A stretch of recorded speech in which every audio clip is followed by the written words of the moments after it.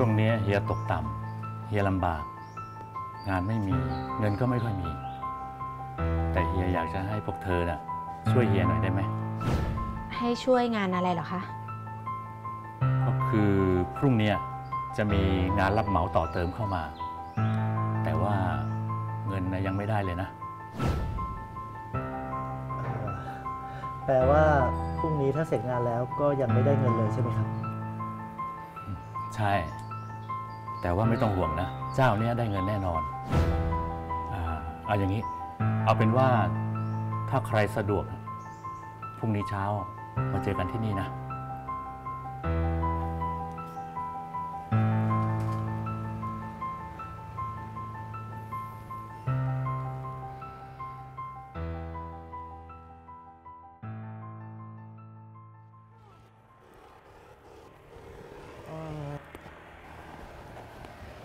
งานด่วนงานด่วน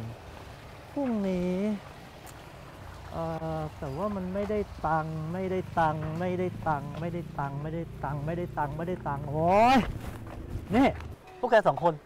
ได้ยินเหมือนที่ฉันได้ยินเมื่อกี้เปล่าวะว่าลุงเก่งเนี่ยเขาบอกว่าทำงานพรุ่งนี้เงินจะยังไม่ออกอะ่ะ แล้วแบบเนี้ยพวกเราควรจะยังไปช่วยลุงกันอยู่ปะวะโอ้โห ไม่น่าถาม คำตอบมันก็ชัดๆอยู่แล้วทำงานไม่ได้ตังค์ใครเขาอยากจะทำจริงป่ะ อ้าวเฮ้ย นี่พวกแกสองคนไม่คิดจะไปช่วยลุงเก่งเหรอ ไม่ได้นะเว้ย ลุงเก่งเขาไม่เหลือใครแล้วนะ ก็อย่างที่รู้กันอยู่อะว่าคนงานคนอื่นก็ไปทำงานที่ไซต์ก่อสร้างอื่นกันหมด เหลือแต่พวกเราไม่กี่คนเนี่ย ถ้าพวกเราไม่ไปช่วย แล้วใครจะช่วยลุงเก่งอะโหชวิน ลุงเก่งเขาจะไม่มีคนงานมันก็เป็นเรื่องของเขาหรือเปล่า เขาต้องไปจัดการเองสิ แล้วแกจำไม่ได้เหรอว่าลุงเก่งอะเขาบอกว่าช่วงนี้ชีวิตเขากำลังลำบาก เงินก็ไม่มี ใช่ ตอนนี้ชีวิตเขากำลังตกต่ำแต่เขาจะดึงชีวิตพวกเราให้ตกต่ำไปด้วยมันก็ไม่ใช่เปล่าวะ เออเอยยิ่งเขาลำบากยิ่งเขาตกต่ำยิ่งเขาเงินไม่มีเนี่ยเราก็ยิ่งช่วยนะ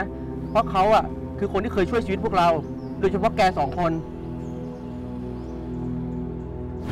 เอาเป็นว่าฉันรับเธอเข้าทำงานนะ เธอหิวข้าวใช่ไหม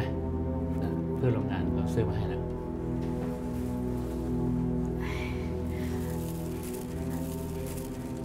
โอราน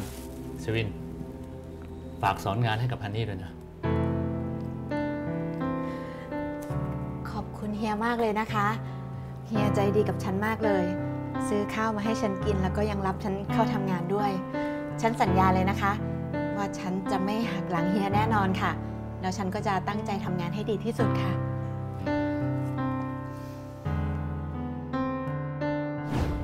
สวัสดีครับ เอ่อ ผู้ป่วยที่ชื่อกระถินที่อยู่ห้อง ICU ตอนนี้อาการเป็นยังไงบ้างครับ ปลอดภัยแล้วใช่ไหมครับเออแล้วค่ารักษาเท่าไหร่ล่ะครับ เป็นหมื่นเลยเหรอครับ ครับครับได้ครับ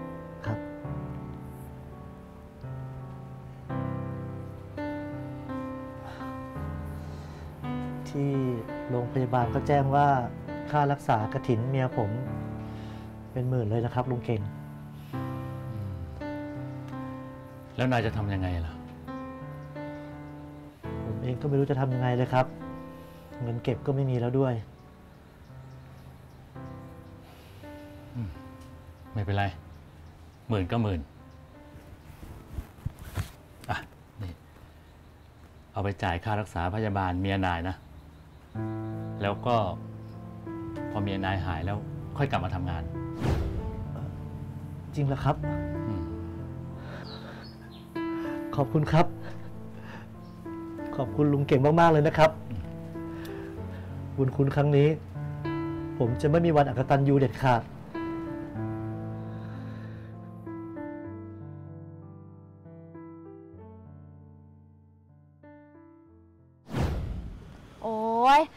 เก่งเคยช่วยฉันไว้ก็จริง แต่ฉันไม่ได้ถือว่าเป็นบุญคุณหรอกนะ ฉันถือว่าเป็นผลประโยชน์ต่างตอบแทนน่ะ ฉันก็ไม่ได้เอาเงินเขามาฟรีๆสักหน่อย เขาให้เงินฉัน ฉันก็ทำงานแรกแล้วไง ใช่ แล้วยิ่งเรื่องของฉันนะ ตอนที่นางกระถินเมียฉันป่วยเข้าโรงพยาบาลเนี่ยลุงเก่งเขาก็มาช่วยฉันเอง ฉันก็ต้องรับไว้สิ ฉันไม่เคยไปขอให้ลุงมาช่วยซะหน่อย นี่ แบบเนี้ยจะมานับเป็นบุญคุณไม่ได้หรอกนะ ไม่ได้นะ ตอนนี้ลุงเก่งกำลังตกต่ำอะยังไงก็ต้องไปช่วยเขา โอ้ยแกอยากจะช่วยลุงเก่งแกก็โง่ช่วยไปคนเดียวเลยไปะกองทัพมันต้องเดินด้วยท้องทำงานได้เงินช้า ใครเขาอยากจะทำกันฮะ ใช่ นี่ทำงานอะมันก็ต้องได้เงินทันทีสิวะโอ้เออนี่ฮันนี่ไหนๆพรุ่งนี้เราก็ตัดสินใจว่าจะไม่ไปช่วยลุงเก่งแล้วเนี่ย ฉันว่าเราไปทำงานที่ไร่มันสำปะหลังฝั่งตรงข้ามไหม ที่มีบริษัทลงทุนต่างชาติเข้ามาลงทุนตรงนั้นอะเขากำลังเปิดหน้าแปลงใหม่ แล้วก็เห็นว่าอยากได้คนงานเยอะเลยนะเงินทุนต่างชาติอะเงินดีนะไปเปล่าเฮ้ยโรงงานสับปะหลัง ไปทำโรงงานนั้นไม่ได้นะ โรงงานนั้นน่ะทำให้สิ่งแวดล้อมในหมู่บ้านเราเสีย ลุงเก่งก็บอกอยู่ โอ้ยอะไรอะไรก็ลุงเก่งลุงเก่ง ลุงเก่งไม่ใช่เทวดานะเว้ย ใช่ ถ้าแกอยากช่วย แกก็ช่วยคนเดียวเลย ไอ้เธอนี่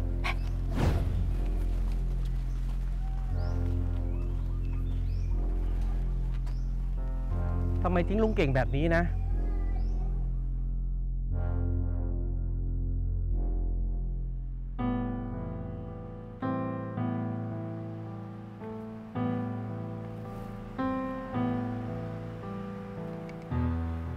อ้าวชวิน ลุงเก่ง สวัสดีครับ คนอื่นล่ะ คนอื่นเขาคนอื่นไม่ได้มาใช่ไหมมีแต่นายคนเดียวใช่ไหมที่มาช่วยฉัน ครับ แต่ว่าลุงเก่งไม่ต้องกังวลนะครับ ผมคนเดียวก็เอาอยู่ครับ ผมแข็งแรงครับลุงเก่ง เดี๋ยวลุงเก่งอยากให้ผมทำอะไรเนี่ย ผมช่วยลุงเก่งเต็มที่เลยนะครับ ทำไมนายถึงยังมาช่วยฉันล่ะ ทั้งๆทที่นายก็รู้ว่า ฉันไม่เหลืออะไรเลย ชีวิตฉันกำลังแย่ โหลุงเก่ง ไม่ช่วยได้ยังไงอะครับ ก็ตอนสมัยที่ผมตกงาน ก็มีแต่ลุงเก่งนี่แหละครับ ที่รับผมเข้าทำงาน แล้วก็อีกอย่างหนึ่งตอนที่ผมลำบากลุงเก่งก็ไม่เคยทอดทิ้งผม ถ้าผมไม่ช่วยลุงเก่งแล้วใครจะช่วยล่ะครับ ขอบใจนะอะนี่กุญแจบ้าน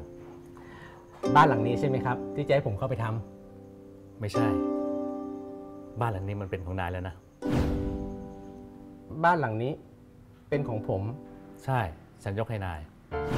ยกบ้านให้ผม หมายความว่าไงครับ ก็หมายความว่า ลุงเก่งน่ะเขาจะยกบ้านหรูหลังใหญ่ ให้กับนายอยู่ฟรีๆเลยนะ ต่อจากนี้ไปอะ นายก็จะมีบ้านอยู่แล้วนะ สวัสดีครับคุณหญิงพรหมพรหมอะอะอันนี้คือคืออะไรครับ นายก็รู้จักฉันดีนี่ ฉันนะ เป็นเจ้าของโครงการร้อยๆหลังและหลายๆที่เลย และฉันก็มีอีกโครงการหนึ่งกำลังจะให้ลุงเก่งนะเขาเป็นคนดูแล และฉันก็จะให้บ้านหรูหลังใหญ่เป็นโบนัสกับเขา แต่เขาบอกกับฉันว่าเขานะมีบ้านอยู่แล้ว เขาก็เลยมาปรึกษาฉันว่าเขาอยากจะยกบ้านหลังนั้นนะให้กับนาย ยกให้ผมเหรอครับ ใช่ ยกให้ผมทำไมอะครับ ก็เพราะว่านายเป็นคนดีนะสิ ทั้งๆทที่ชีวิตฉันตกต่ำลำบาก ฉันไม่เหลือใคร ก็มีแต่นายเท่านั้น ที่ไม่ทอดทิ้งฉัน จริง ๆ แล้วเมื่อวานเนี่ยฉันแค่อยากจะลองใจดู ว่าถ้าฉันบอกไปว่า ชีวิตฉันไม่เหลือใคร ไม่มีอะไรเหลือแล้วเนี่ยจะมีใครที่จะอยู่กับฉันไหมแล้วก็เป็นอย่างที่ฉันคิดจริง ๆ ก็มีแต่นายเท่านั้น ที่ไม่ทอดทิ้งฉันนี่ฉันให้นาย ขอบคุณมากๆเลยนะครับ นี่ผมจะมีบ้านอยู่แล้วเหรอครับ ใช่แล้วก็ไม่ใช่แค่นั้นนะ ฉันกำลังทำโครงการใหม่และโครงการนี้นะใหญ่มาก และลุงเก่งนะเขาบอกเขาทำคนเดียวไม่ไหว เขาจะเอานายนะมาเป็นผู้ช่วยเขาแล้วฉันนะก็จะเพิ่มเงินเดือนให้นาย เกือบเกือบเทียบเท่ากับของลุงเก่งเลยนะ เท่ากับว่านายอะจะมีงานทำไปตลอดทุกโครงการกับลุงเก่งตลอดเลย ฉันดีใจด้วยนะ ขอบคุณนะครับ ขอบคุณนะครับ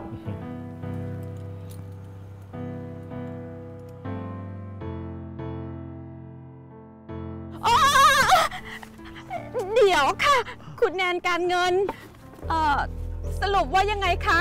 นี่มันสองสัปดาห์แล้วนะคะ พวกเรายังไม่ได้ค่าแรงเลยค่ะ อย่างที่พวกคุณสองคนรู้กันเลยอะค่ะ บริษัทที่เราทำงานอยู่อะเป็นโรงงานเถื่อนค่ะ เจ้าของบริษัทอะเขาไม่ได้จดทะเบียนถูกต้องตามกฎหมาย แล้วเขาก็หนีกลับประเทศไปแล้วค่ะ หนีกลับประเทศนั่นเหรอครับนั่นนั่นนั่นหมายความว่าที่เราขุดดินขุดหญ้าปลูกมันสับปะหลังตากแดดตากลมตัวดำมือแตก มาตลอดสองอาทิตย์ เราจะไม่ได้เงินสักบาทเลยเหรอครับ อย่าว่าแต่พวกคุณ สองคนเลยค่ะ ฉันน่ะไม่ได้เงินเดือนมา 2 เดือนแล้ว ตอนเนี้ยคนงานเขาประท้วงอยู่ที่หน้าโรงงานนะคะ พวกคุณจะไปด้วยไหม ถ้าไปด้วยก็รีบตามมานะคะ เอาเดี๋ยวเดี๋ยวคุณแนนคุณแนนคุณแนนโอ้ยทำไมมันสวยอย่างนี้วะเนี่ย ดิฉันไม่น่าหลงเชื่อแกเลยอะมาทำงานที่นี่อะโอ้ยแกจะโทษฉันคนเดียวได้ไงเราก็ตัดสินใจมาด้วยกันนี่ โอ้ยไม่น่าเลย นี่ถ้าไปทำงานช่วยลุงเก่งกับไอ้ชวินนะป่านเนี้ยได้ดีไปแล้ว ดูไอชวินสิ มันไปช่วยงานลุงเก่งอะ มันได้บ้านทั้งหลังหนึ่งเลยนะและที่สำคัญอะ มันจะได้เลื่อนขั้นเป็นหัวหน้า คุมสายงานให้ลุงเก่ง มีงานยาวๆต่อเนื่องอีกหลายปีเลยอะโอ้ลุงนี่ไม่น่ากระตันยูเลย